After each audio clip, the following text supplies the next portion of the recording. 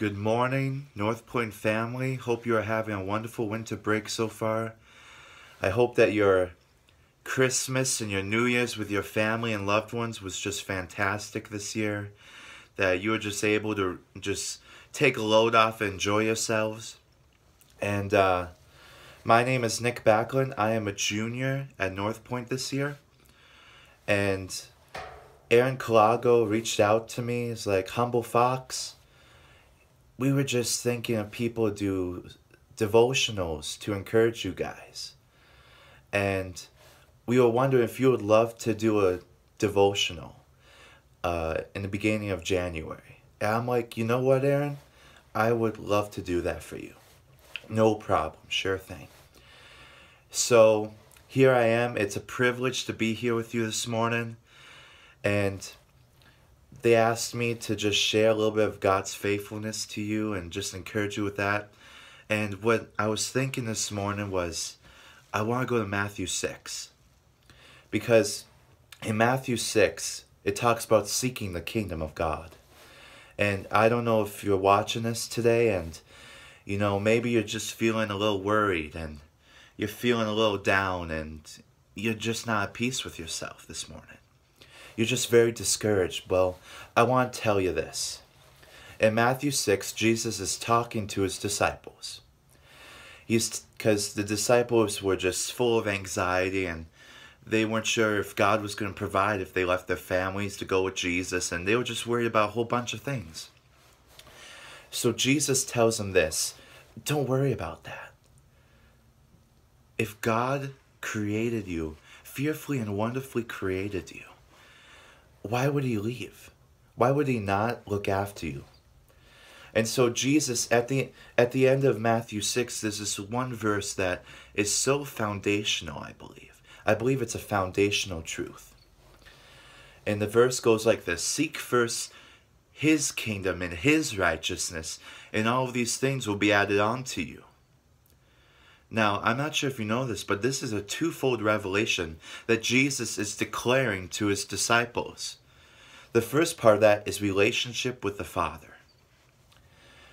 Jesus Christ, God desires to be close with us. And I don't think there's a better way to start this year out but getting close with Jesus. Because when you're close to Jesus, everything just falls into place. Maybe you don't have peace right now, but you get close with God. You'll find peace that passes all understanding. When you get close to Jesus, you desire just to be close with him. You desire to just you just find joy in his presence. So when you're in relationship with the Father, all the worries you had, all the worries, they, they just vanish because the only one thing in mind is just him and you. That's what a relationship with God is. You throw away everything that's distracting. You throw away the things that are bothersome to you. And trust me, there are some things that won't go away. But you know what? With Jesus, you used to go through obstacles.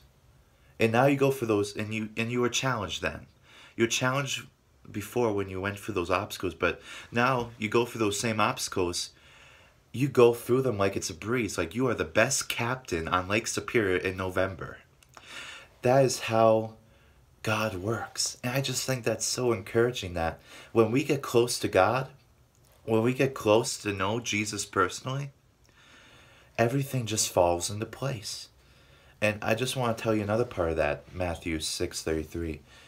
The second part of that revelation promise that Jesus declares to his disciples is the promise that he will care for you and he will be the, your provider.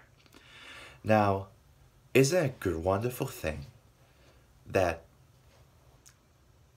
we don't have to go through life alone? Maybe you're here this morning, you feel like you're just so alone and no one's with you, and that's what's discouraging to you. Well, let me tell you this. In the end of Matthew, before Jesus leaves, he, you know, he declares the, um, maybe not declares, but he tells his disciples he's going to leave, but he tells them this I will be with you till the end of the ages. that is such a comfort to know that He did not leave us. He didn't leave us. You know, when you walk through the valleys and the hills and the mountains and the high seas and you're in a tiny boat and you're like, Lord, help me. Jesus is with you every step of the way. So if you are discouraged this morning, I want to encourage you that when you walk through the tough places in life, and I just want to say 2020 wasn't the wasn't what we expected. But you know what? Through much of the opposition, there was opportunity. You there was much opportunity to get close with God. Opportunity for growth. I believe that is a Brian Lidbeck saying or J.P. Dorsey saying. There's an opportunity for growth. And I believe 2020 was an opportunity for all of us to grow in our faith and to be challenged. And you know what? 2020 had a lot of those, but you want to know what I look forward to in 2021? To see the fruit. When there's opposition, there is blessing that just comes. It's kind of like when um, I think about it this way. Is um, I read a book once and they're talking about the plant process of where you bury a seed in the dirt and it's covered in the darkness. Well, if you think about this, when you're in the darkness, you start to you start to peel away, you start to find out things about yourself. And and through time, you start to grow in the darkness and then you pop out into the light and you start to see fruit that it produces. And I believe 2020 was like that. We were all seeds in the dirt and God was just keeping us in this dark place or watering us, having us germinate is probably a better way to put it, so that we would pop up in 2021 as fruit that is growing into this big vine and we're gonna it's gonna produce something. I believe that 2020 was a setup to produce something in 2021. I believe that. And I just want to encourage you this morning, especially the freshmen, because I remember when I was a freshman and I was just ready just to give up. I came home and my mom, I just, I was telling my mother and I was like, Mom, I don't think Bible college was for me. I didn't have the grades. I wasn't spiritually good with Jesus then. I'm a little bit better now, but just saying. And I was just telling you, you know, I think I'm going to quit and go to McDonald's. But you know what she said? You're not quitting because I have never seen you happier, my son. When we cannot see it, when we cannot see the fruit that God is producing in our lives, but others can. I just want to encourage you to keep going. I want you to keep going through everything that's going on. And I just want to end with that. Now, I hope this has blessed you to some extent.